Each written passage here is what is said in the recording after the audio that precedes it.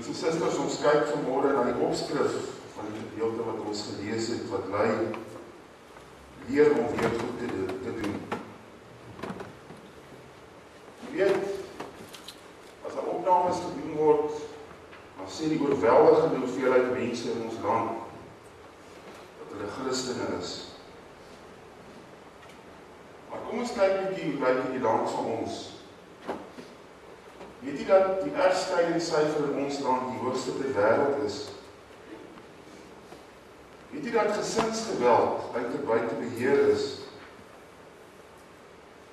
En verder staan ons land bekend as een van die gewelddadigste lande ter wêreld.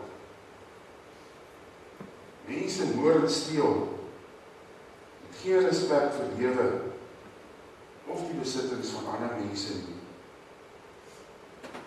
Kerk van die Here is goed gevestig in ons land. En Sondag trek duisende mense saam om te luister na die woord en die wil van God. Maar hoe lyk die kerk? Ek dink nie ons gaan vandag maklik 'n koerant oopmaak sonder om iets van broedertwis te lees nie. So erg dat gemeentes en kerke soms verskeer. Om mense wat mekaar aanval en verskeer met woorde van liefdelose dinge wat broers en susters in die geloof van mekaar doen. Dan vra jy wat is fout? Wat ons sê ons kan spog met 'n land vol Christene. Maar 'n samelewing wat teen God verhard is. En die beste reëlings vir 'n geordende samelewing maar waar Geminag word as die gewer van alles wat daar is. En daarom is dit goed dat 'n mens daar as geloofsgemeenskap oor ons hele land saamkom en ons voor God verootmoedig. Want ons het 'n samelewing wat roep om vergifnis. Ons lewenstyl roep om versoening kerk van die Here ons ken die wil van God. Dan moet ons as gelowiges nie dalk net weer leer om goed te doen nie. Maar dan gaan jy vir my vra hoe? Met ons dan nie gereeld nie. Kom ons dan nie gereeld kerk toe nie. Gee ons nie so baie van onsself nie.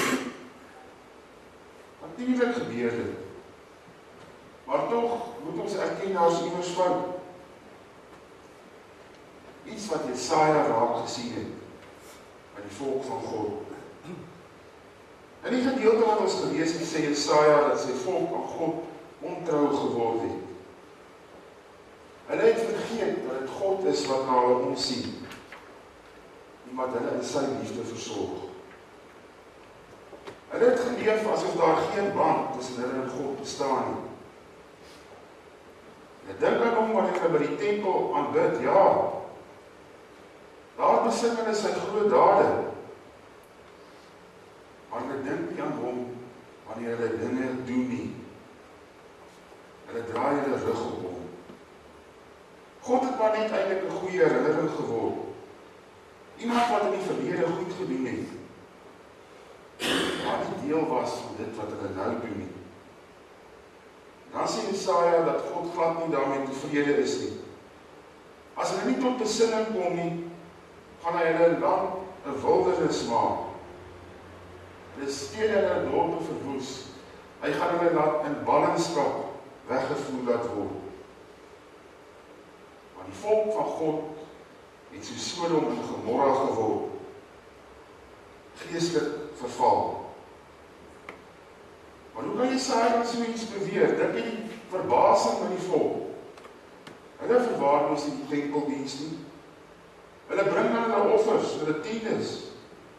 Hulle hou hulle godsdienstige feeste. Hulle bid sonder ophou.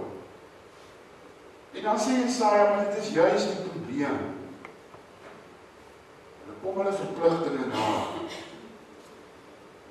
Maar hulle gehoorsaam God nie.